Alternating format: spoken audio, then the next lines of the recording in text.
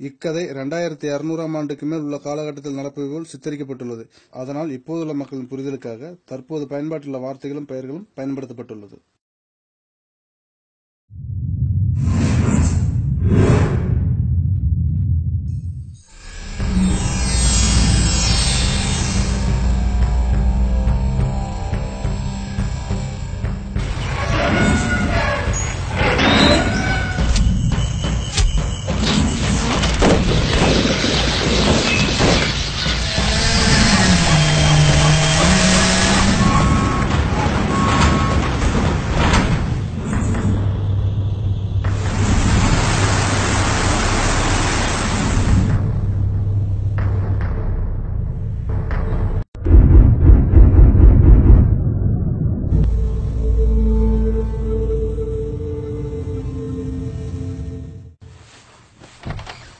பக்கத்துல இருக்கிற மெடிக்கல்ல போய் டிஃபன் வாங்கிட்டு வாங்கினா இவ்வளவு நேரமா?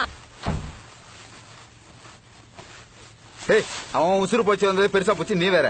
ஐயோ என்ன ஆச்சுங்க டிஃபன் வாங்கிட்டு வர்றப்ப திடீர்னு மூச்சு விட முடியாம அப்படியே நின்னுட்டேன்.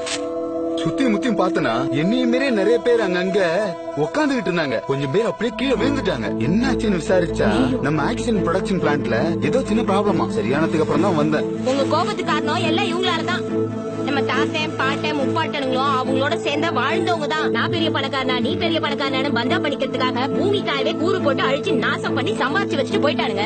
பணம் இருந்து என்ன பண்றது? வீட்டுக்கு அழகா நாலு பொருள் வாங்க வைக்கலாம்னா அது கூட கிடைக்க மாட்டேங்குது. அதனால நான் என்ன நினைக்கிறேன்னா இப்ப மரத்தை வெட்டினவன அதே மாதிரி வெட்டி கொன்னு மரண தண்டனை கொடுக்கறாங்கல்ல. இந்த சட்டத்தை ஆயிரத்தி தொள்ளாயிரத்தி ஐம்பதுல இருந்து ரெண்டாயிரத்தி ஐம்பது வரைக்கும் வாழ்ந்த நம்ம முன்னோர்கள் ஒரு சிலருக்கு கொடுத்து கொண்டிருந்தா கூட நமக்கு இந்த நிலைமை வந்திருக்காது. ஆமா. ஏன்னா அவங்கதான் அதிகமா இயற்கை வளங்களை அழிச்சு நாசம் பண்ணிட்டாங்கன்னு வரலாறு சொல்லுது இல்ல இன்னும் என்னென்ன அனுபவிக்க போறோமோ. இந்த அப்படி இப்ப நம்ம முழுங்கும் இதெல்லாம் சாப்பிட்டு வாழ்றதுக்கு செத்தலாம் போல இருக்கு. ஏங்க காலையில அவசரமா பேசுறீங்க? சரி குடு முழுங்கி தொலைற கொஞ்சம் இருங்க. பக்கத்து வீட்ல நூறு மில்லி தண்ணி கடனா கேட்டிருக்கேன். வந்ததும் சாப்பிடலாம். ஏன் இங்க இல்லையா? இன்னையில இருந்து ஒரு குடும்பத்துக்கு ஒரு லிட்டர் தண்ணி தானா? அதுவும் நான் போறப்போ தீந்து போச்சு. இருங்க போய் வாங்கிட்டு வரேன்.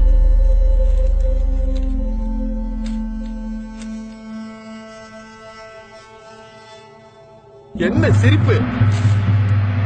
நீங்க எல்லாம் காய்பழங்களோட இருந்த நிலத்தை அழிச்சு கட்டிடமா கட்டிட்டீங்க? கொஞ்ச நெஞ்சம் இருந்த மரத்தையும் மண்ணி அழிச்சு வாழ்ந்துட்டு போயிட்டீங்க. இங்க நல்ல காத்து கூட இல்ல. அதனால ரப்பர் கொண்டுக்குள்ள ஆக்சிஜனை விட்டு பாதுகாக்கப்பட்ட விலங்கு மாதிரி வாழுறோம். அது மட்டுமா? நாங்க பிறந்ததுல சாப்பாடு என்ன தெரியுமா? இந்த மாத்திரை தான். இதைத்தான் சாப்பிட்டு சாப்பிட்டு வாழ்ந்துட்டு இருக்கோம். இந்த மாத்திரையை முழுங்குறதால பல வியாதிகள் வருது. அத போக்கவும் இந்த மாத்திரையை தான் சாப்பிடுறோம். இப்படி மாத்திரை மாத்திரையா சாப்பிட்டு சாப்பிட்டு மண்டையில இருக்கிற மயிரெல்லாம் கொட்டி போச்சியா? எங்களுக்கு மட்டும் இல்ல இங்க வாழுற எல்லாருக்கும் தான். அது கூட பரவாயில்ல. உடல்ல சத்து இல்லை. அதனால அஹ், குழந்தை இல்ல உங்க சந்ததியே அழிய போகுது. பணம் பணம் பணம்னு பணத்தை சேர்த்து வச்சுட்டு போனீங்களே. எதுக்கு? அதை வச்சு நாக்க வலிக்கிறதுக்கா உங்களால நூத்துக்கு எழுபது பேருக்கு குழந்தையே இல்ல. ஒரு காலத்துல யாழி டைனோசர்லாம் வாழ்ந்ததுன்னு சொல்லி நீங்க மியூசியத்துல வச்சிருந்தீங்க. நாங்க ஆடு மாடு சிங்கம் புலி மரம் செடி கொடி காய்ப்பழங்கள் எல்லாம் இருந்துச்சுன்னு நாங்க மியூசியத்துல வச்சிருக்கோம். போற போக்க பார்த்தா இன்னும் கொஞ்சம் வருஷத்துல அதே மியூசியத்துல மனுஷனை பொம்மையா செஞ்சு வச்சு இது ஒரு உயிரினம். பெயர் மனிதன். முக்கிய குறிப்பு.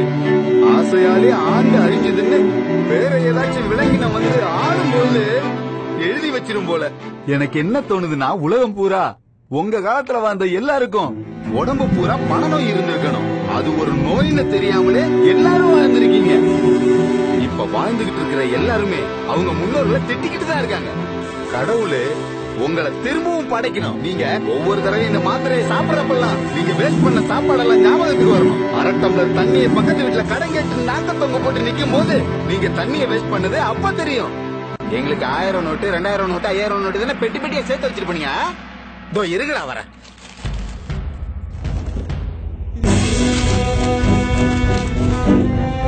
அதை விட உங்களுக்கு ஒரு லட்சம் ரூபா ரெண்டு லட்சம் ரூபா பத்து லட்சம் ரூபா நோட்டுக்கெல்லாம் வண்டி வண்டியா கொடுக்குறோம். என்னங்க உங்க பணம்